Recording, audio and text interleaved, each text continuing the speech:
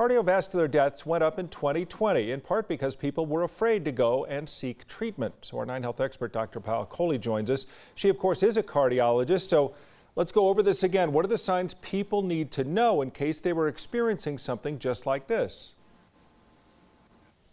So important to talk about, Tom. And I really like to use the analogy of, of a rainstorm. So there are two types of symptoms you ought to be aware of. One are those sudden onset ones, and the others kind of sneak up on you. So the sudden onset one is sort of being caught in the rain without an umbrella. They're not subtle. Usually people feel chest pain or chest pressure. That's the most common symptom. Sometimes it can radiate to the jaw, to the arm, to the back. Sometimes people can feel short of breath, sweaty, nauseous. It is important to note that women can have more atypical symptoms. So sometimes women just feel symptoms like heartburn or fatigue or feel under the weather, but don't necessarily have that elephant on their chest sensation that some of the men do.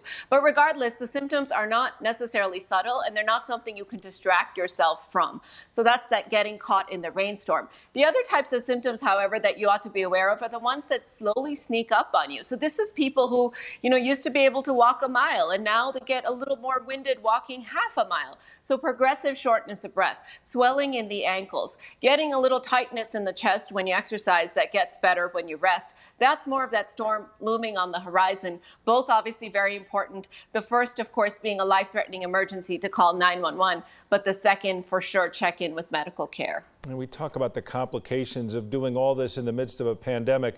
The American Heart Association last week released a report saying heart disease is still likely to remain the number one cause of death in the world, but they say in part due to COVID 19. What does that mean?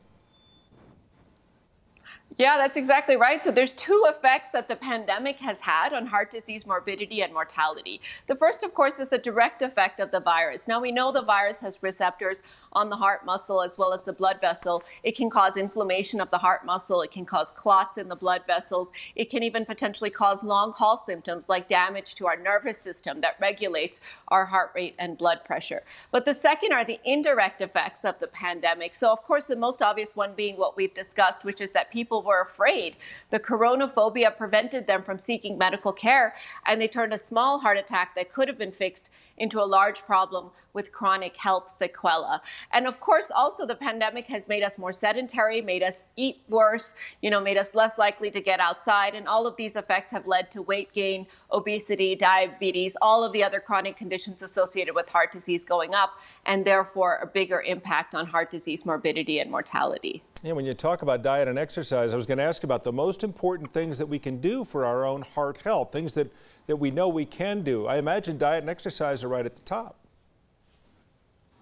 They really are, and I have some good news here because you know it's depressing to hear all these all these things, but 80% of heart attacks and strokes are preventable according to the American Heart Association.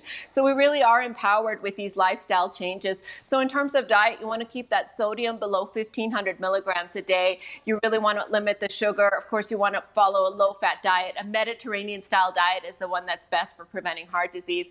Exercise, you want to get 30 minutes at least 5 days a week of getting your heart rate up. So that's not walking your dog, Tom. That's actually jogging or getting on a bike or doing something that gets your heart rate up. And then, of course, you want to control those risk factors like blood pressure, cholesterol, diabetes, obesity, and all the others that we know can lead to heart disease and stroke. So, so as a doctor, you say today, instead of being at work, I should have carried a golf bag, 18 holes today, and that would have been the proper thing for me to do today. That's right. I can write you a prescription for that if you'd like. See, this is exactly why we have you on. Uh, Dr. Payal Kohli, thanks as always. Just a reminder to everyone that February is Heart Health Month. We'll be continuing this conversation and my prescription, I hope. Thanks.